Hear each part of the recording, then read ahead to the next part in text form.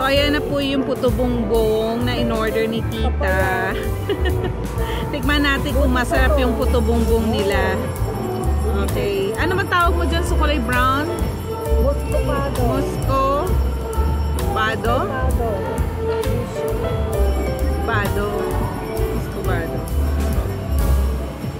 So, ayan yung ano, ah, Melis Puto Bongbong dito sa Mainomo.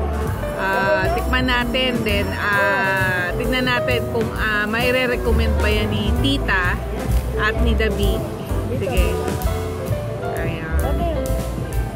Taste muna. Kasi ma- mahilig mag, mag, magkakakain ng mga kakanin tong mga